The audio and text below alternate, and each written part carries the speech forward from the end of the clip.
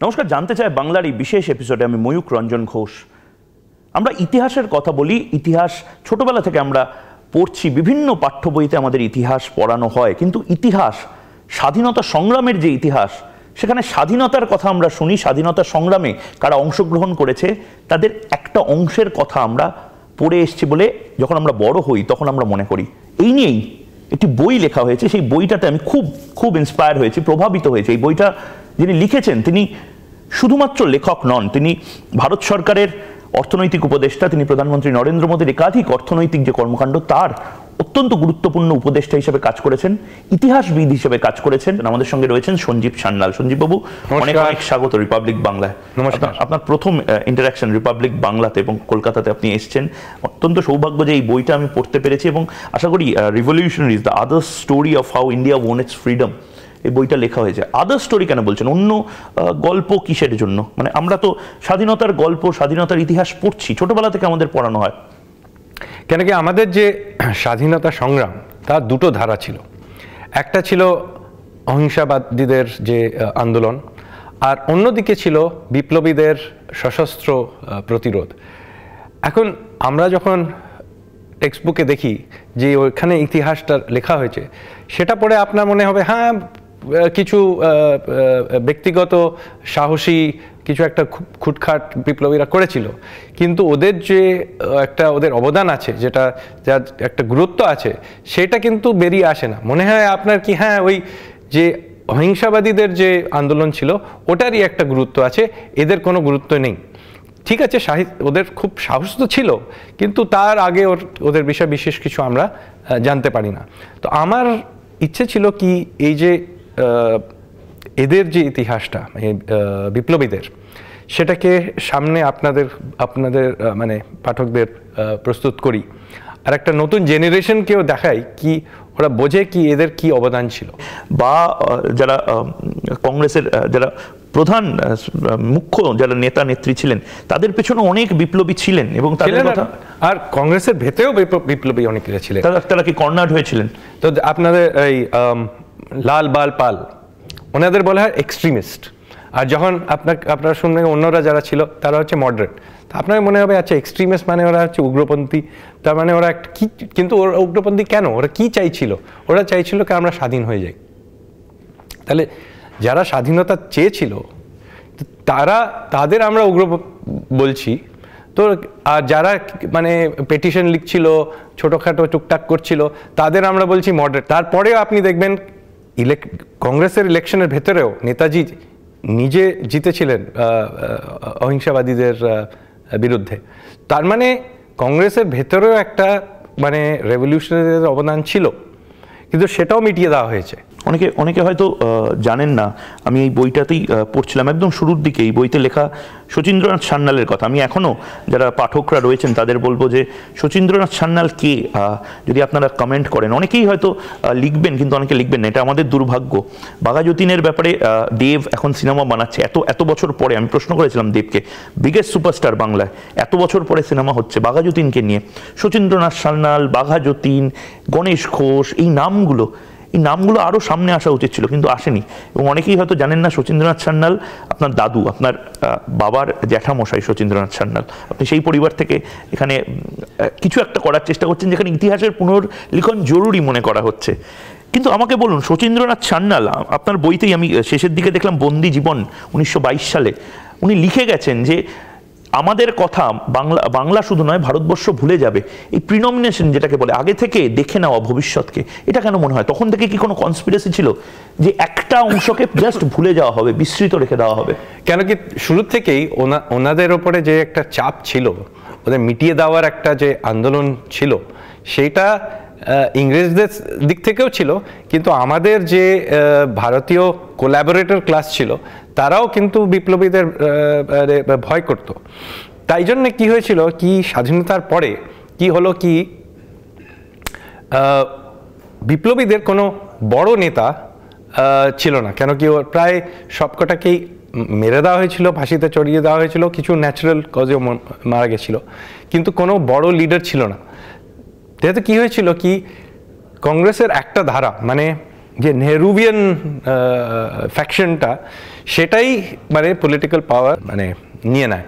তো কি হয়, ওরা মানে ওরা নিজেদের যে অবদানটা, সেটা বড়- বড় করে লেখে, কিন্তু বিপ্লবীদের আর অন্যদের যে যা অবদান সেগুলোকে চেপে দেয়। আর আপনি বলছেন history is still written by victors যারা যারা লিখতে পেরেছে যারা ভিক্টরও ছিল না এরা শুধু কেন কি যখন স্বাধীনতা হয় স্বাধীনতাতে তো একটা অবদান ছিল তো একভাবে দেখেন তো তো বিপ্লবীরাও ভিক্টর ছিল। কিন্তু ভিক্টরির পরে কি হলো সেটাতে ওরা মার খেয়ে গেল। কেন কি ওদের কোনো বড় লিডার ছিল না। সান্যালবাবু, আমার ঠিক এই জায়গা থেকেই আমার দ্বিতীয় প্রশ্নটা। এই বইটা থেকেই আমি যা যা নতুনভাবে জানলাম এবং অনেকগুলো জিনিস ভাবলাম। একটা অদ্ভুতভাবে আপনি বলছেন যে চেষ্টা হয়েছিল, আমি কনস্পিরেসি বলছি না, কিন্তু চেষ্টা হয়েছিল, যেখানে আমাদেরকে বোঝানো হয়েছে, একদম ছোটবেলায়, কচি মাথায় আমাদের বোঝানো হয়েছে যে বিপ্লব খুব খারাপ। যারা বিপ্লবী তারা অস্ত্র ধরে, রক্ত ঝরায়, এরা খারাপ। স্বাধীনতাটা এসেছে অহিংস আন্দোলন থেকে। স্বাধীনতা এসছে এক গাল বাড়িয়ে দেওয়া হয়েছে যখন কেউ থাপ্পড় মারতে চেষ্টা করেছে আরেকটা গাল বাড়িয়ে দেওয়া হয়েছে এবং বারবার থাপ্পড়টা মেরে যাওয়ার পরে ক্লান্ত হয়ে ব্রিটিশরা বলেছে নে বাবা স্বাধীনতা নিয়ে চলে যা। এটা তো আসল ইতিহাস নয়। নেতাজির কথা যেরকম আপনি বলছেন বিপ্লবী অরবিন্দ ঘোষের কথা বলছেন যারা প্রথম বিপ্লবী। বিপ্লবী ছিলেন তাদের মধ্যে একজন। এটা আমরা ভুলে যাচ্ছি। এটা এই যে ইতিহাসটাকে সেটাকে চেপে দেওয়া হয়েছিল। নামগুলোকে মিটিয়ে দেওয়া দেওয়া সম্ভব ছিল না কেন কি এগুলো তো একশো বছর আগেরই সব ঘটনা। কিন্তু কি হয়েছে? নাম গুলোকে না চেপে ওরা কি করেছে? এই যে ইত- ইতিহাসটা যে যে শৃঙ্খলা যেটা সেটাকে ওরা ভেঙে দিয়েছে। মানে চেনটাকে ব্রেক করার চেষ্টা করেছে। ওটাতে কি করেছে? আপনাকে ভগৎ সিংকে মার্কসিস্ট বানিয়ে একটা খাঁচায় ঢেলে দিয়েছে। ভগৎ সিং তো মার্কসিস্ট মানে সাধারণভাবে নিজে মার্কসিস্ট ঠিকই নিজে ব্যক্তিগত লেভেলে। কিন্তু উনি যে একটা আন্দোলনের একটা অংশ ছিলেন সেটাকে আপনাকে বলা হয় না। এরা সবাই নিজেদের জানতো। যেরকম যেরকম আমি রাসবিহারীর কথা বলছি। রাসবিহারী বসু উনি ফার্স্ট ওয়ার্ল্ড ওয়ারে উনি একটা চেষ্টা করেছিলেন কি একটা ব্রিটিশ ইন্ডিয়ান আর্মিতে একটা বিদ্রোহ মানে যা করার। সেটা ফেল হলো। কিন্তু সেকেন্ড ওয়ার্ল্ড ওয়ারে রাসবিহারী বোসই গিয়ে আবার চেষ্টা করলেন কি আরেকটা বিদ্রোহ হয়। সেটার থেকে আজাদ হিন্দ ফৌজের জন্ম হয়। তো আমি এটা বলতে চাই, চেষ্টা করছি কি এক, একই একটা আন্দোলন, তাতে ওদের একটা ক্লিয়ার অবজেক্টিভ ছিল কি আমরা ব্রিটিশ ইন্ডিয়ান আর্মিতে একটা বিদ্রোহ করব। ওটার ওটা অনেকবার চেষ্টা করেছে। অনেকবার ওটা মানে ওরা করতে পারেনি কিন্তু করতে করতে করতে গিয়ে নাইনটিন ফর্টি সিক্সে নেভাল রিভোল্ট ওরা ইনস্টিগেট করল। যেটা আপনিও অনেক পরে জেনেছিলেন। আমাদের ভারতেই অনেকে হয়তো হ্যাঁ অনেকেই জানে না কি নাইনটিন ফর্টি সিক্সে একটা বিরাট নেভাল রিভোল্ট হচ্ছিল। কুড়ি হাজার ভেটারেনরা মানে যুদ্ধ ঘোষণা করে হ্যাঁ যুদ্ধ ঘোষণা করেছিল। আর সেই সময় ব্রিটিশ ইন্ডিয়ান আর্মি শুধু ভারতেই নয়, ইজিপ্ট থেকে ইন্ডোনেশিয়া বার্মা, ভিয়েতনাম সব জায়গায় ছড়িয়ে গিয়েছিল। তো ওই সময় যদি একটা বিদ্রোহ হতো, তাহলে পুরো জিনিস মানে ব্রিটিশ এম্পায়ারটা একবারেই মানে ভেঙে পড়ে যেত। এই এই গল্পগুলো লেখা হয় না এবং অদ্ভুতভাবে আপ- আপনি আমি নিশ্চয়ই আপনি জানেন যে বাংলা কলকাতা শহরে রাসবিহারী বোসের নামে কিন্তু কোনো রাস্তা নেই। হ্যাঁ রাসবিহারী যে ঘোষের নামে রাস্তা আছে। হ্যাঁ রাসবিহারী অ্যাভিনিউ যেটা সেটা রাসবিহারী ঘোষের নামে। যে যে খুব একটা কোনো উনি উনি কংগ্রেসের আইনজীবী ছিলেন। হ্যাঁ আইনজীবী ছিলেন কিন্তু খুব একটা কোনো ওনার কোনো মানে মানে ইতিহাসে খুব একটা কোনো গুরুত্ব নাই। কিন্তু রাসবিহারী বোসের নামে কোনো কোনো রাস্তা নেই। কোনো রাস্তা নেই আর কোনো মানে মেমোরিয়াল নেই বিশেষ কিছু নেই। যদি ভগৎ সিং এবং দামোদর সাভারকারকে একই জায়গাতে বসিয়ে দিই বলা হবে যে আমি একটা ভয়ঙ্কর রকম ইতিহাসের অবলব করছি। এটা কি মনে হয়? এটাও কি একটা লবি তৈরি করেছে এই ধরনের? দেখুন ভগৎ সিং এর গুরু কে ছিলেন? ভগৎ সিং এর গুরু ছিলেন শচীন্দ্রনাথ সান্যাল আর why I am an atheist ওরা যে প্যাম্পলেট যেটাতে উনি নিজের মার্কসিস্ট আইডিওলজিটা লেখেন সেটাতে প্রথমেই নিজেই ভগৎ সিং লিখেছেন কি আমার যে গুরু ছিলেন শচীন্দ্রনাথ সান্যাল সে অ্যান্টি মার্কসিস্ট ছিলেন। লিখেছি কিনা? তার মানে যে এই যে সূত্রটা ছিল সেটা মার্কসিস্ট সূত্র ছিল না। এই যে আন্দোলনটা ছিল, সেটা মার্কসিস্ট ছিল না। কিন্তু ভগৎ সিং নিজেই বলেন কি, আমি একলাই এখন মার্কসিস্ট এই পুরো আন্দোলনে। তো বিপ্লবীদের মধ্যে পরে নাইনটিন থার্টিজে কিছু মার্কসিস্ট ছিল ঠিকই, কিন্তু ভগৎ সিং যে আন্দোলনের ছিলেন, সেটা একটা ন্যাশনালিস্ট আন্দোলন ছিল, রাষ্ট্রবাদী ছিল, ওরা মার্কসিস্ট ছিল না। পরে নাইনটিন থার্টিজে আলাদা করে মার্কসিস্টরা এসছিল, সেটা ঠিকই। আর তাদের মধ্যেও অনেক রকমের আছে। ওটা একটা আছে সিপিআই এর ধারা অন্য আছে আরএসপি যারা অনুশীলন মার্কসিস্ট ছিল তারা অনুশীলন সমিতির থেকে যারা কমিউনিস্ট হয়ে গেছিল তারা পরে গিয়ে আরএসপিতে জয়েন করে।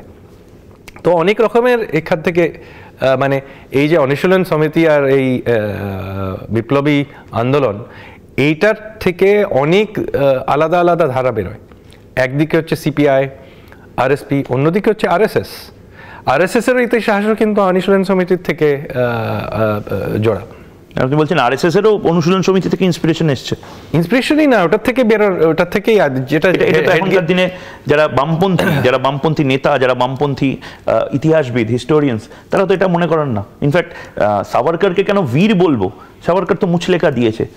এই হ্যাঁ। একটা এই একটা থিওরি সামনে আনার চেষ্টা এই সাভারকার কোনো কিছু করেনি। সাভারকার তো ক্ষমা চেয়ে নিয়েছে ব্রিটিশ হ্যাঁ ওনাকে এমনি মানে চোদ্দ বছর কালাপানিতে এমনি পাঠিয়েছিল ইংরেজরা। এটাই আর কি বলার চেষ্টা করছিল। কি উনি যে চোদ্দ বছর কালাপানিতে ছিলেন আর তারপরে আর- আরও তেরো বছর তারপরে হাউস অ্যারেস্টে ছিলেন রত্নাগিরিতে।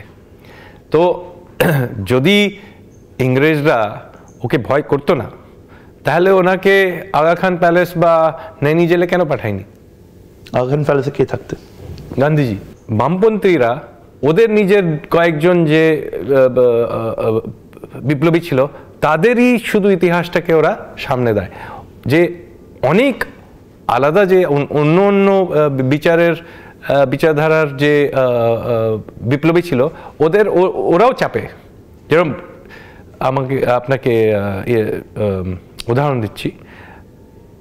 এই সিপিআই সেকেন্ড ওয়ার্ল্ড ওয়ারে ওরা নেতাজিকে কি বলতো? ওরা বলতো টোজোজ রানিং ডগ তোজোর কুকুর। হ্যাঁ টোজোর কুকুর।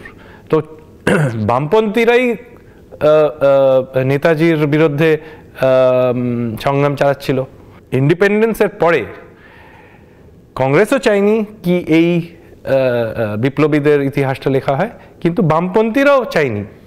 শুধু হ্যাঁ ভগৎ সিং এক দুজনের নাম শুধু আপনার সামনে রাখবে। তাছাড়া ওরা কিন্তু ওভারঅল যে মুভমেন্টটা হচ্ছে সেটার বিষয়ে আপনাকে ওরা খুব একটা ওটাতে গুরুত্ব দেয় না। আরেকটা জিনিস বামপন্থীরাই বলে যে সাভারকারকে নিয়ে যেভাবে সেলুলার জেলে লাইট অ্যান্ড সাউন্ড শো বা তার সেলটাকে এত সুন্দর করে রাখা হয়েছে ইনক্লুডিং শচীন্দ্রনাথ সান্যাল তাদের নামগুলো শচীন্দ্রনাথ সান্যাল মোহিত মৈত্র মোহিত মৈত্র আমার সম্পর্কে দাদুও হয় এই যে নামগুলো বিস্তৃত বিপ্লবী যে নামগুলো তাদেরকে পেছনে ঠেলে দেওয়া হচ্ছে এটা কি ঠিক না ভুল? নরেন্দ্র মোদী সরকার এসে সাভারকারকে বেশি গরিমান্বিত করছে ইওলজাইজ করছে কিন্তু যারা বিপ্লবী বামপন্থী বিপ্লবী তাদেরকে পেছনে ঠেলে এটা কি আপনি ঠিক মনে করেন? প্রথমত বামপন্থী বিপ্লবী খুবই কম ছিল যারা সেলুলার জেলে পাঠানো হয়েছিল। বেশিরভাগ যারা ছিল তারা ন্যাশনালিস্ট ছিল। তো সচিন সান্যালের নাম বলছেন। সচিন সান্যালের নামে একটা সেল আছে ওখানে। ওনার ওনার ডেডিকেটেড আর Sachin Sanyal deliberately anti Marxist ছিলেন। ওনার বন্দি জীবনেও পরিষ্কার করে লিখেছেন কি, আমি অ্যান্টি মার্কসিস্ট তো, আর উল্লাসকর দত্ত দত্ত, এরা সবাই কিন্তু ন্যাশনালিস্ট ছিলেন। এরা মার্কসিস্ট ছিলেন না। তাই জন্যে কি হয়েছিল? কি, এই যে সেলুলার জেল আপনারা গিয়ে দেখবেন পোর্ট ব্লেয়ারে কি শুধু ওটা দুটো আহ, মানে রো খালি এখন এখন আছে কিন্তু আগে অনেক কটা ছিল সেগুলোকে ভেঙে দেওয়া হয়েছিল। কেন ভেঙে দেওয়া এই দুটোকেও ভেঙে দেওয়া হতো কিন্তু তখন অনেক লোকেরা দাঁড়িয়ে বলল না এটাকে ন্যাশনাল মেমোরিয়াল বানানো হয় সেটা নিয়ে অনেক চেঁচামেচি হলো। তাই জন্য গিয়ে এই দুটো বাঁচলো। আরেকটা আপনাকে উদাহরণ দিচ্ছি। দিল্লিতে আপনি মৌলানা আজাদ মেডিকেল কলেজের নাম শুনেছেন? আচ্ছা এটা যে যেই সাইটে সেই সাইটটা ছিল অরিজিনালি দিল্লির জেল। আর ওখানে অনেক বিপ্লবীদের ফাঁসি দেওয়া হয়েছিল। যেরকম এখন আলিপুর আলিপুর জেল। যেরকম ওটা দিল্লির ইকুইভ্যালেন্ট ভেবে নিন। আচ্ছা nineteen fifty five ninety six এরকম একটা সময় একটা বিপ্লবীদের যারা বেঁচে কুচে যারা ছিল তারা বলেছিল ওখানে একটা মেমোরিয়াল করার উচিত। গভর্নমেন্ট থেকে পারমিশনও পাওয়া গেছিল কি এখানে মেমোরিয়াল হবে। তবুও ওইটাকে পুরোভাবে মিটিয়ে দিয়ে ওখানে একটা মেডিকেল কলেজ বানানো হয়। মেডিকেল কলেজের ভেতরেও একটা মেমোরিয়াল করা যায় এমন কিছু তো না একটু মানে পুরো জিনিসটাকে বাঁচিয়ে রাখতে তো কেউ বলছে না। কিন্তু যেখানে ফাঁসি হতো বা দু তিনটে কিছু বাঁচিয়ে রাখতো আহ, যেরকম আলিপুর জেলে খুব সুন্দর করে করা হয়েছে। তো আমি যা বলব কি কি এটা একটা মানে সিস্টেম্যাটিকভাবে এদের মিটিয়ে দেওয়ার একটা চেষ্টা করা হয়েছিল সেটা বলতে হবে। সেটা কি কংগ্রেসের তরফ থেকে? কংগ্রেসে যারা গান্ধী বা নেহেরুদের যে যে গোষ্ঠীটা ছিল তারা কি এই জিনিসটা করেছিল? নিজেদের ইতিহাস লিখে যাওয়ার জন্য প্রজন্মের পর প্রজন্ম আপনার কি মনে হয়? হ্যাঁ আর কি বলতে পারব? কেন কি গান্ধী তো বলতে পারব না কেন কি উনি তো আটচল্লিশ সালে ওনার ওনাকে অ্যাসাসিনেট করা হয়েছিল। কিন্তু যে নেহরুবিয়ান ধারা, সেই তারা তো আর মার্কসিস্টরা বিপ্লবীদের মিটিয়ে দেওয়ার চেষ্টা করেছিল। আমার ঠিক এই জায়গাতেই প্রশ্ন যে পাল্টা যারা বিরোধীরা, যারা কংগ্রেস, যারা বামপন্থী, নরেন্দ্র মোদী গভর্নমেন্টের এগেনস্টে বলা হচ্ছে যে ইচ্ছা করে নেতাজির ফাইলগুলো ডিক্লাসিফাই করা হচ্ছে বা অন্যান্যদের সামনে নিয়ে আসা হচ্ছে। তার কারণ কংগ্রেসের যে ভূমিকা ছিল স্বাধীনতা আন্দোলনে ইনফ্যাক্ট রাহুল গান্ধীও একাধিক সময় বলেছেন সেটা, সেটাকে ডিমিন করার চেষ্টা করছে, সেটাকে অবজ্ঞা করে নিচে নামানোর চেষ্টা করে নরেন্দ্র মোদী সরকার অন্য নামগুলো সামনে আনছে। এটা আপনি মানেন? না মানেন যে এত বছর ধরে যেটাকে ভুল, সেটাকে কারেক্ট করার চেষ্টা হচ্ছে এখন। দেখুন ইতিহাস ইতিহাস। ওটাতে বিপ্লবীদের অবদান ছিল। সেটাকে মিটিয়ে দেওয়ার চেষ্টাও করা হয়েছিল, সেটাও সত্যি।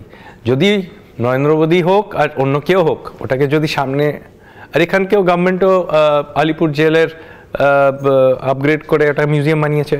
তো একটা চেষ্টা আছে এখন এই দু তিন চার বছরে কি এই বিপ্লবীদের স্মৃতিটাকে ফেরত আনার। সেটা যেই গভর্নমেন্ট করুক, আমি ওদের সঙ্গে।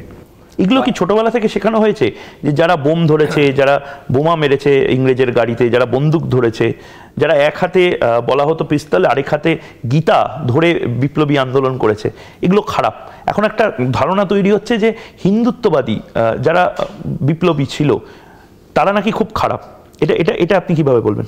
তো এই রকম করে যখন ইতিহাসটাকে বলা হয় তো সেটা তো অবভিয়াসলি এটা তো একটা পলিটিক্যাল এজেন্ডা কেন কি হিন্দুত্ববাদীদের অনেক এটাতে অবদান ছিল। শ্রী অরবিন্দ হোক সাভারকর হোক বা মদনলাল প্রথম জীবনে হিন্দুত্ববাদী ছিলেন? হ্যাঁ ছিলেন। আর পুরোভাবেই ছিলেন কেন কি ওনার যে সাধু জীবনটা যেটা বলে সেটাকে বোঝার জন্য আপনাকে প্রথমত শ্রী অরবিন্দ মানে অরবিন্দ ঘোষের বিপ্লবী জীবনটাকে বোঝার দরকার। ওটা ওর ওই দুটো অংশ আলাদা নয় কেন একটার থেকে অন্যটার এভলিউশন হয়েছে। তো তাছাড়াও সচিন সান্যালও বলতে গেলে আজকের আজকের ডেফিনিশনে ওরা সবাই হিন্দুত্ববাদী। রামপ্রসাদ বিসমিলের নাম শুনেছেন।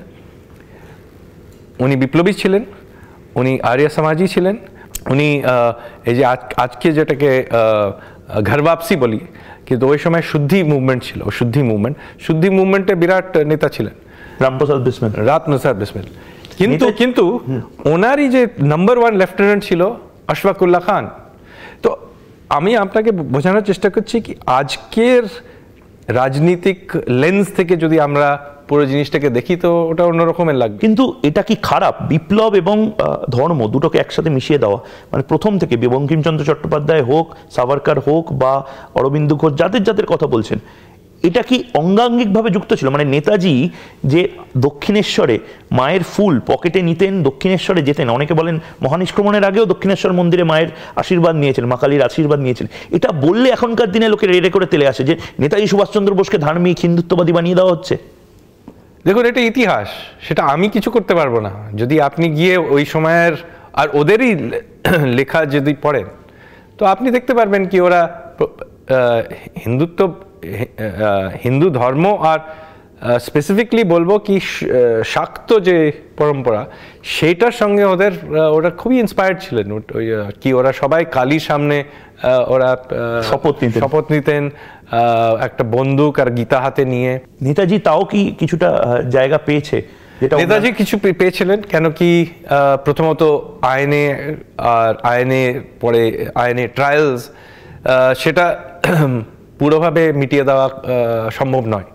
নেতাজির ইতিহাসও মিটিয়ে দেওয়ার চেষ্টা হয়েছে। হ্যাঁ হয়েছে। কেন কি দেখুন না এখনও যে কর্তব্য পথে এখন নেতাজির যে স্ট্যাচু লাগানো হয়েছে সেটা নিয়েও একটা কন্ট্রোভার্সি আমি কিরম করে হতে পারে কি যে যে লোকটা মানে পুরো জীবনটাই নিজের মানে স্বাধীনতার জন্য যে যিনি পুরো ডেডিকেট করেছিলেন ওনার এক স্ট্যাচু লাগাতে নিয়ে একটা বিরাট কন্ট্রোভার্সি কিরম করে হতে পারে? আপনি ভেবে দেখুন। কিন্তু হয়েছিল।